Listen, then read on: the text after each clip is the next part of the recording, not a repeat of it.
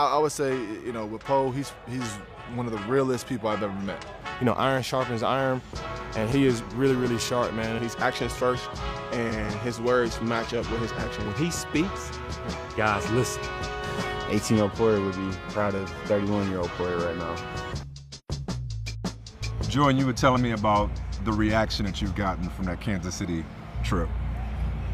A little more than you expected? A lot more than I expected. Uh, you know, initially just taking the trip, I really didn't want anybody to find out prior to the game that I was driving out there. Um, and, you know, got a win after the game. Somebody had found out about the drive. I wasn't surprised, but uh, there was just amount of love I got from the Mafia, uh, from my fans, family around the world. Um, it was cool, man. Uh, something that I'll definitely look back at, and I wouldn't do it again. Uh, but something I'll look back at, and you know, I'm thankful that I got to experience it with my wife, my daughter. Um, you know, but it, it was a lot, very long trip, though. Well, let's go back to the beginning. So, when did the idea first come up that hey, you can't fly, but right, you can take the ride for yeah. 16 hours? Uh, well, I mean, I, I caught the pick in the Baltimore game, cracked two ribs, lung contusion, uh, pneumothorax is what they call it. Um, and, you know, sat that week. We played Pittsburgh that Sunday. Um, I was out for that game. After the game, I had another MRI that morning. We kind of looked at it later that afternoon after the game. And, you know, they had mentioned to me, they look, Jordan, you know, if you are cleared to play in this game. If you are, at the time I wasn't cleared yet. If you are cleared to play in this game, you probably won't be able to fly. And I kind of looked up like, like what you mean? Like so i'm gonna like, it's possibility i could be clear to play but i'm not fly. Initially i was pretty frustrated i'm not gonna lie. I was frustrated at the whole situation. It's kind of like like why am i in this situation? Like what the you know I, every, kind of everything had happened since training camp. Dislocated my elbow sprained my foot mm. and i had been playing well too. So it's just like damn like why does this gotta be happening so I talked about it for two days with my wife, and we finally just came to the conclusion that hey, you know, we might not ever get an opportunity like this again. Um, the Bills are going to provide everything. They're going to provide the, the, the, transportation, the hotels, and, and whatnot. So we kind of look, try to look at it more of a positive light. Um, you know, it's a road trip with the family to go play Pat Mahomes, Travis Kelce, and you know something that I'll look back at, like I said, and probably laugh about it later on. But I definitely want to do it again. So who came to you with the thought of of, of yeah, yeah, it was our team. It was our team doctors. Um, so our team doctors and um, Dr. Abadi, another specialist that's that's outside of, of the Bills. You know, they, they kept looking at my images, and it was getting better. And you know, there was a point it finally got to Tuesday, and they thought it was I would be okay to play. So and what was your thought when they suggested this? I was like, it didn't make sense to me. You know, it didn't really make sense. And like I said, I was really frustrated early on. Like it's like you know, at this point, like I'm cleared to play but not fly. I kind of didn't really understand it, but you know, as I started to think about it and contemplate it again even more, you know, the, the outside doctors, even even our doctors, they did a great job of communicating with me, like the you know possibility of, of yeah. this happening, that happening, and it was mainly the air pressure. Yeah. They didn't want the air pressure up there and something to happen while I'm up in the air and them not being able to control. So, um, you know, like I said, once we were able to finally, you know, finalize, hey, this is what we're doing. Started planning it with wifey. Started planning all of our hotel stops. We stopped in Indy on the way up there and yeah. on the way back. Uh, we left Friday after practice at about 2:30. Got to Indy at about 10:30 Friday night. Um, left Indy at, at 9:30, 9 9:30 on Saturday, and then got to KC at about 4 4:30 on Saturday afternoon. Yeah. Took the same trip back, so it was uh, it was a lot better with a win. I was about to say because flights home are long yeah. after a loss. Yeah. I imagine the drive home would have not been fun. Yeah, it was a yeah. lot better with the win. Yeah. Um, you know, like I said, it was like I said, some. You know, we look back. My wife was documenting it all. You know, taking videos and pictures of my daughter just enjoying the ride in the back with her iPad, asking me 50 times, "Hey, Daddy, how many, how much more time we got left? Five hours, pumpkin. Hey, Daddy, how much more time we got left? Three hours, pumpkin. You better hang on." So, uh, she did not. she's a trooper. Both yeah. her and my wife are were troopers on the on the whole trip. So it was awesome. Like I said, to experience. When you heard that he was going to take a Sprinter van mm. to Kansas City, what did you think? I was like, whoa. I, I was kind of like like him a little bit. Uh, I can't fly, but I can drive. I can I can go uh, through, through uh, that type of transportation rather than flying. I was uh, I took a little bit of pause when they first our, our, doctors told me about it, and and then Sean shared with me what the plan was, and uh, they had given that to Jordan and let him t- to decide. Mm-hmm. And so when he decided he was going to do it, I just took my hat off to him, man, because that shows the, the courage that he has and the commitment that he has to not only uh, the profession but his teammates as well. Because I mean that's not an easy decision. It seems like it might be an easy decision on the outside, but you're talking about your long-term health, and for him to drive to the game with 14, 15 hours and go out and play in a National Football League game, an NFL game, and play at the level that he played at, incredible. So I was hanging with the family or whatever. He texted me and said, you know, he had a little problem going on and he might, you know, he wasn't able to fly, but he could drive to Kansas City. The first question was, how long is that? And he said like 14, 16 hours, something like that. I just sent back the laughing emojis like, bro, you're crazy. Like, that's wild, but that's Jay Poe. That's, you know, he's going to do anything for this football team. And um, just the leader that he is, you know, I, I, know he didn't even think twice about not playing in the game, especially a big game like it was. So, um, you know, that boy is just uh, willing to do anything for the team. The Jordan that, that I know, man, he didn't want to let his teammates down. And he knows that – you know, we're a different team with him on there. You know, from you know him being at practice, from the little stuff that he says, man. You know, just his energy, man, is uh, it's really contagious. And you know, he he knew that we needed him, you know, to win that game. And you know, he drove, you know, 15 hours there and 16 hours back, man. It just shows you the type of dedication that he has, you know, for his craft and for his teammates. It fit his character. Um, it fit who he is. You know, just someone to do whatever it takes for the team. Um, and like I said, his actions showed that from from day one since I got here. Um, so you know, just hearing that, it was just like, that's Poe right there. Like that's Poe right there. What'd you do to pass the time? Like, how did you spend six? It was 16 hours. Yeah, right? I watched. I watched a lot of film, so I was able to download the film. So obviously, you weren't able to have Wi-Fi, so I was able to download my film. Um, watched a lot of film, and I did a lot of recovery stuff. They gave me some BFR, um, BFR recovery stuff. I was able to do that on the bus and bands and and and speed them because you don't want to sit for seven hours straight. That's mm-hmm. that was the hard part. You know, we took a couple stops. Um, you know, I was trying to stay loose and trying to do the things I can because I knew plane flying planes is hard enough going to an away trip, you know, and let alone sitting on a on a bus for seven hours there, and it was a long, it was a long trip. That's what I was thinking when I saw. Listen, I know I'm old though, right? And I'm out of shape, but I know like how it feels for me in cars and in planes all the time, right? Like, so you were able to stay loose as as as as much as I could. Okay. Um, you know, there were stretches where I definitely didn't feel as comfortable as I would have hoped, but. Yeah. Um, and like I said, once we kind of got on the road and you know got everything situated in the van, we figured out you know best places to lay down, best places to kind of chill and get some rest. Um, you know things were a little bit more smooth. Um, on the way back, it was kind of this is a story I haven't told you. On the way back, we had to go. The speed limit was 65 on the highway, but we had to go 45 because the winds were blowing too hard. So about for about three and a half, four hours. It took us.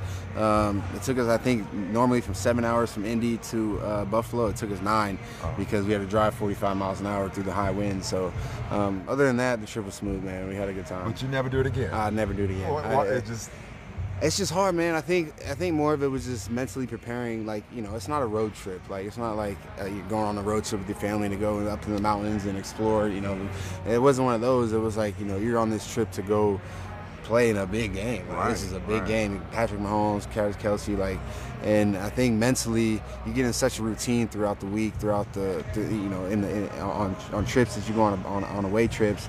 You know, it kind of messes with your routine a little bit and kind of throws you off a little bit. So I think more mentally, um, you know, I, it made me mentally stronger for sure because I had to really hone into what I had to get done, what I needed to accomplish, and, and I felt good about the way I played. Um, I feel like I wish I made more plays out there, but it really wasn't a whole lot. To, um, you know, I had four tackles, but it, you know, like I said, something that I look back and I'm proud that I was able to handle it the way I did. What do you think it meant to your team for you to be there? You know, I don't know. You know, um, I got a lot of appreciation from those guys. Um, just being able to, you know, like I said, have the have the mental and physical capacity to do that. Um, I just hope that it showed them that I, you know, how much I care. I didn't do it for nobody else but those guys. You know, the guys, you know, especially my guys on the back end. Um, you know, I, I, love those guys to death, man. And you know, I don't know what's going to happen next year. Um, you know, whether I'm here, whether it's you know wherever else. But at the same time, like, I'll be able to look back at this and, and know that I, I did everything I could to help help this team uh, win football games.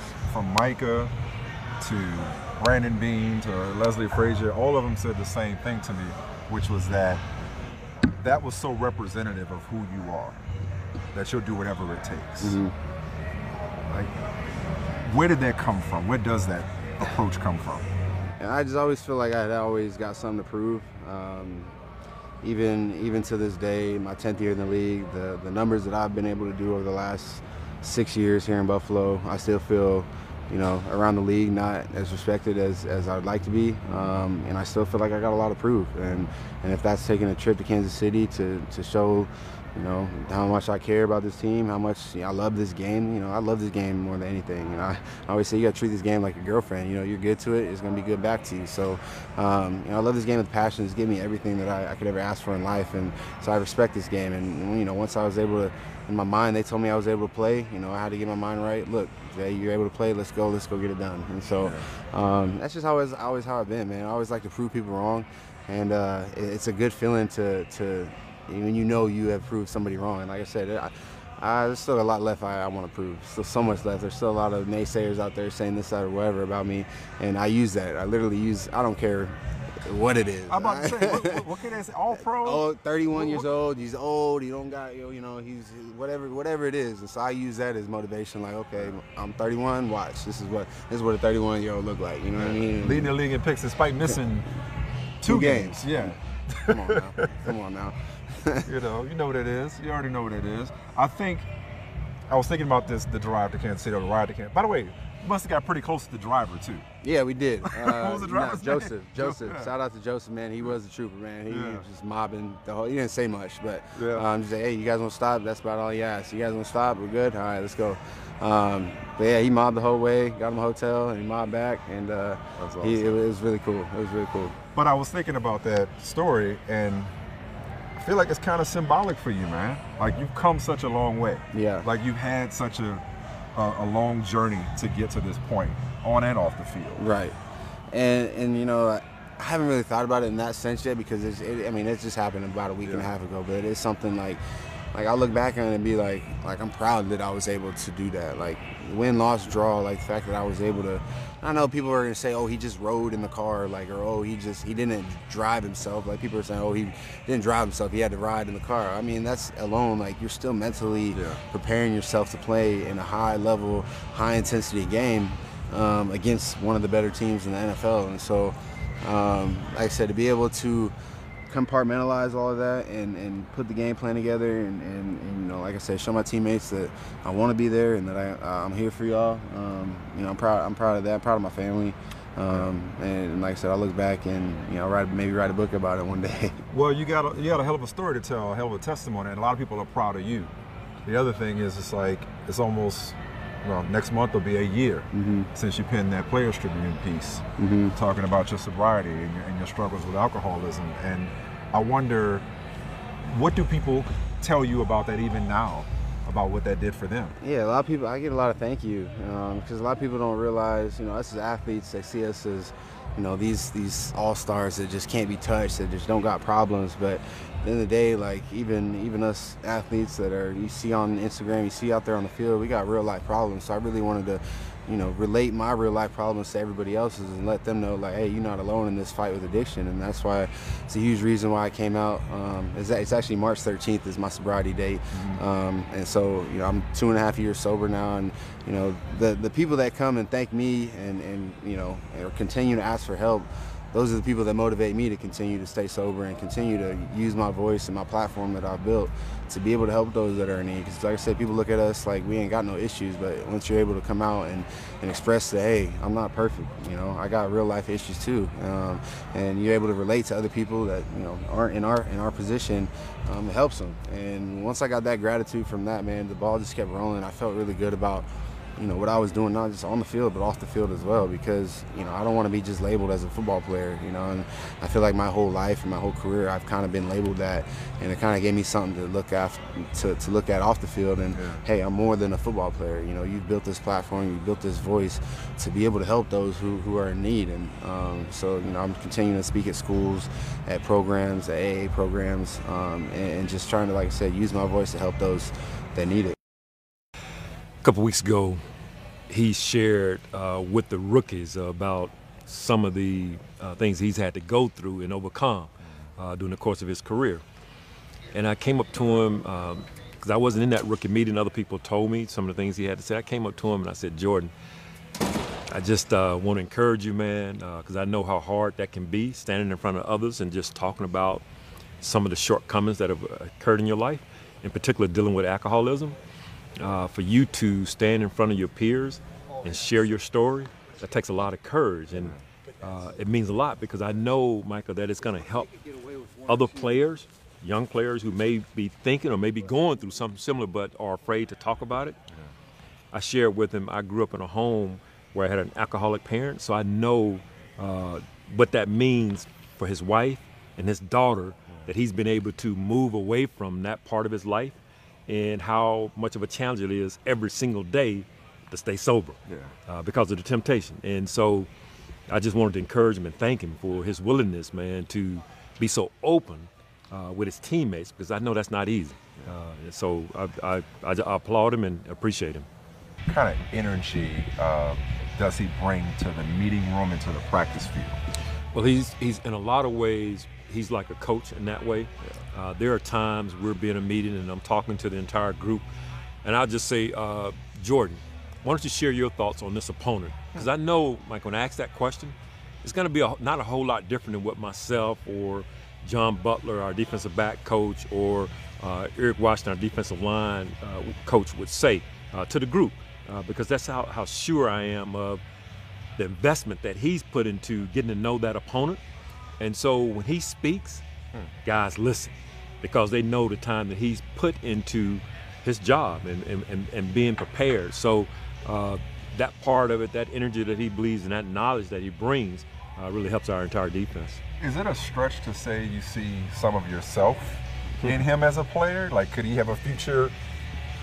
like, Oh, I- I kind of like I- your career path, maybe? Yeah, I don't think there's any doubt if he decides he wants to go down the coaching path, Yeah. he could be an excellent coach. But in the meantime, we want to enjoy him as a player because he's Yeah. a really good football player as well. Coach Frazier told me you spoke to the rookies Mm-hmm. recently, and he thanks you for doing that. Yeah. Because of because of his experience growing up. What, what was your message to, to them, and how was it received? You know, I, I just told them, look, like we all got problems, and and to I don't. It's hard. It, it's hard enough to be in our situation, to be in our position, um, and it's hard, it's even harder to have issues and not be able to talk about it. So I just kind of let them know, like, hey. You, I know how hard this is to be as a rookie. You know, you coming into a, a system, you coming into an organization. They expect so much out of you already. You have all this stuff in play, this this this pressure on you. You know, if you ever need someone to talk to, this is I you know I'm and I was vulnerable with them. I just let them know like these are my issues. This is what I was going through. I'm here to I'm here if you need to talk. Ain't no no BS, no nothing. I'm not gonna judge you because I'm being vulnerable to them. So you know I'm. If anybody's to judge somebody, it's them judging me. But no, it wasn't. It wasn't like that. I let them know this is my story. If you guys ever need someone that, that you need to talk to, um, you know about anything, because you know we all we all know somebody that either has alcohol alcohol addiction or, or knows somebody that knows somebody that's got some some some issues with alcohol. And I think that message is relays like you know I had parents growing up. I wish I could have expressed like, hey, you know I'm going through some shit at the house. Like, can you help me? You know what I mean? It's just being able to express that. It opens up a lot more doors, and it opens up a lot more. You know, you're just vulnerable, and you're able to to, to hear a different voice and to hear ways to fight through problems. And, and sometimes, most of the time, some of the people, most of these guys are going through the same exact stuff. Yeah. So it's like, you know, hey, my dad, my, my, my sister, my aunt, you know, I can't get them to stop drinking. You know, how can I help them? Um, how can I help them or ways that I can help them? And, you know, I always trying to guide them in ways that I can, you know, and in my own experience, you know, and, and in my own experience with that is just being able to be honest with somebody, being able to let them know, like, hey, you know, whether it's you or the one that has the issue, let somebody know, like, hey, I got an issue, man. I got real, real shit going on. I can't, I can't stop doing this, that, the other. Can you help me? You know, I always, my slogan is, it's okay to ask for help. You shouldn't feel ashamed to be able to Right. ask somebody, ask somebody close to you or anybody, just, hey, man, I need some help, and uh, and vice versa. You know, if somebody's got something going on, you know, you just ask them, like, hey, man, if, I'm here if you need to talk to me. You know, just let, just letting them know, like, if you need to talk to me, man, just I'm here. Um, just so people, because a lot of times, like, we feel like we're in this battle by ourselves. You know, and it shouldn't feel like that. We need each other. When, when did when did you come to that realization, That, Jordan? that we need uh, that we need each other. yeah, just that mentality. as I was that, like, as I was going through and I was going through the AA programs and I saw how strong those people in AA they were and I saw that you know they helped me and they didn't have they didn't know me from a grain of anything you know nobody knew I was a ball player nobody knew anything about me But I remembered going in there, and I remember this lady telling a story about her addiction and how her father was in the hospital that day, and how she contemplated coming to the com- coming to the program that day. And I always tell this story because this story changed my life. And she's telling her story. She's like, I contemplated coming here. My dad's dying. I hadn't drank in six years, and she's like, I'm so blessed uh, that I came in here today. She's like, I prayed on it, and I and, and God told me to come into AA today.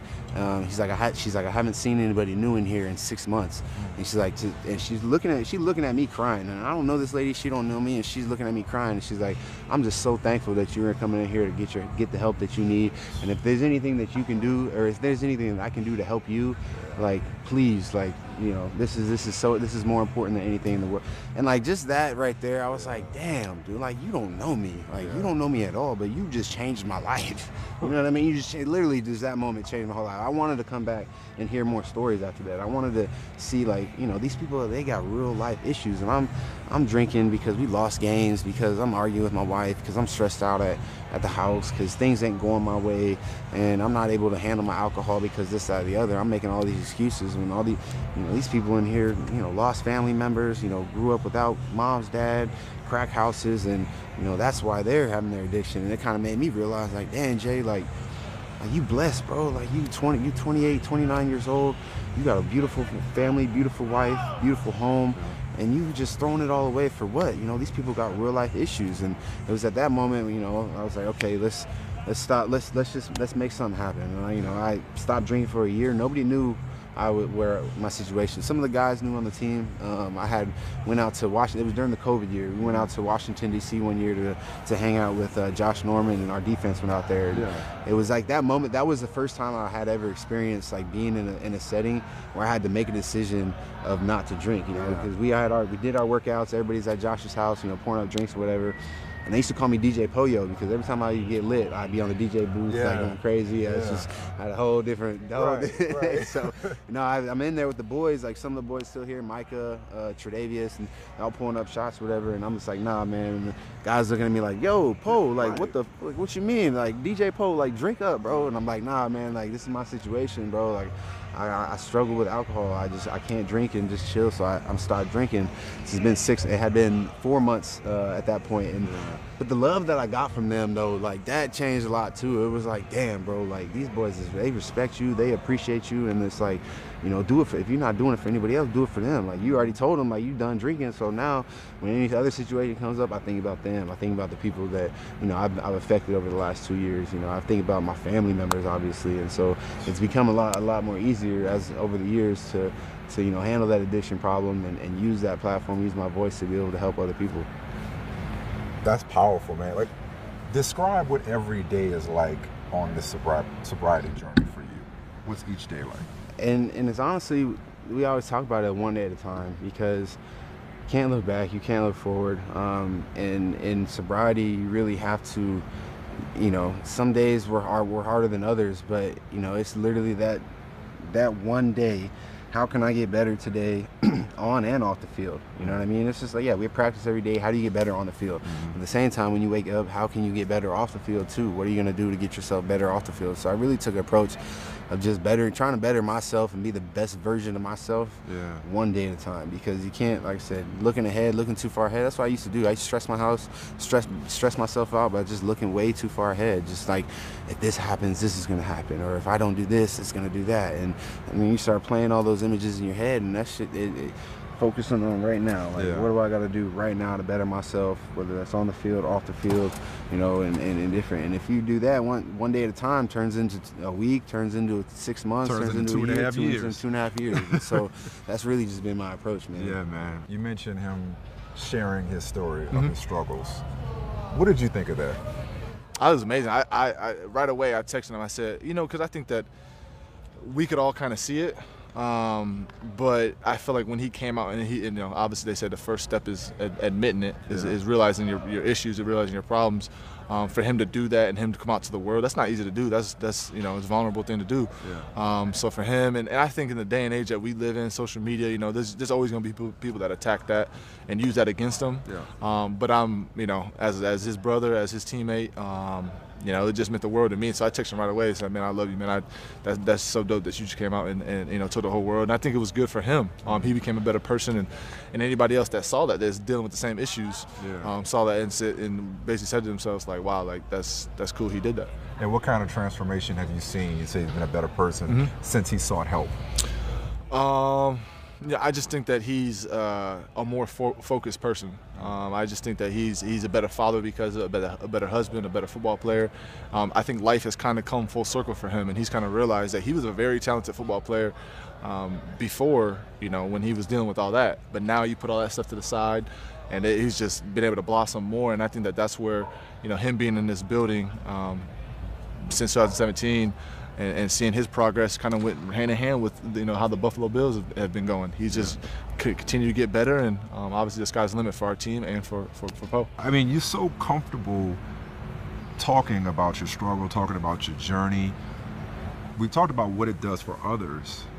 What's it do for you to give voice to it this way? it, I mean, it's it really, like I said earlier, it kind of gave me a different identity. It kind of gave me something that I'm not just looked at as as an NFL player as just as an athlete. It gives me a, a new identity as somebody who people look, can look up to, not just as an athlete, but as somebody who struggled with addiction, somebody who, you know, hey.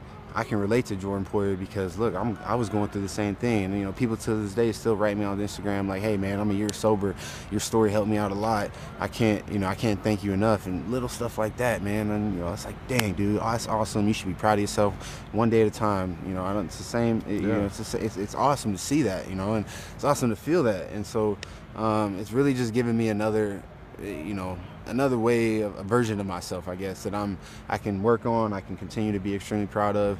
Um, because football is one thing; it's only gonna last for so long. But you know, when football's done, I definitely ain't gonna be no coach. So uh, really? Okay, No, well, that settles gonna that because I was talking to Leslie. he probably think I he probably think I could probably be a coach. Totally, because he said sometimes in meetings he'll ask you, "Well, what do you see here?" And he Yeah. knows that you're gonna say Yeah. what they would say. Yeah, But no, I'm gonna hold off on that right life now. coach maybe. Life coach, great. Yeah, yeah, of course, hundred percent. Life coach.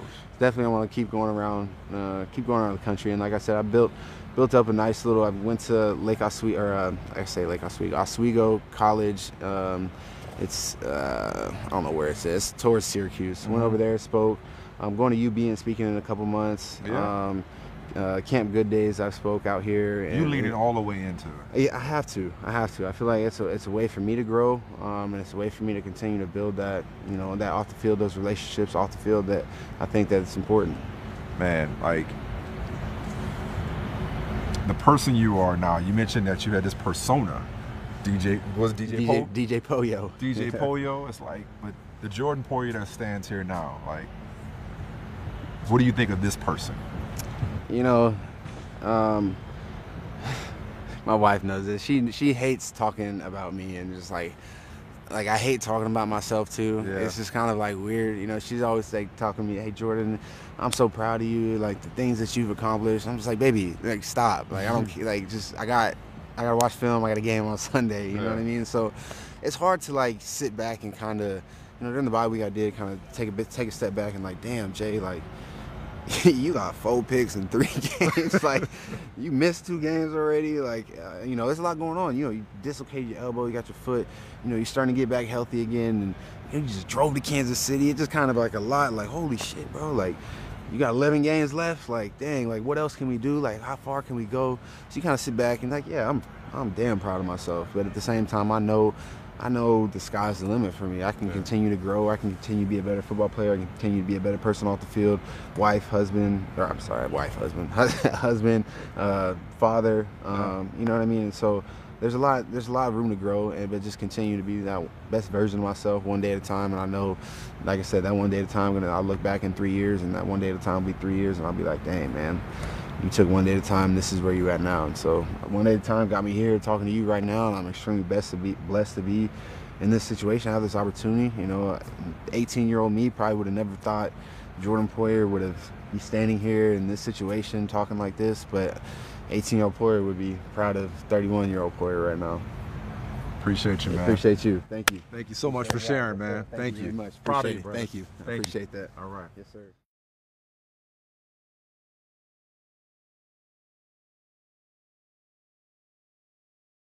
Hi, I'm Mike Tirico, and thanks for watching.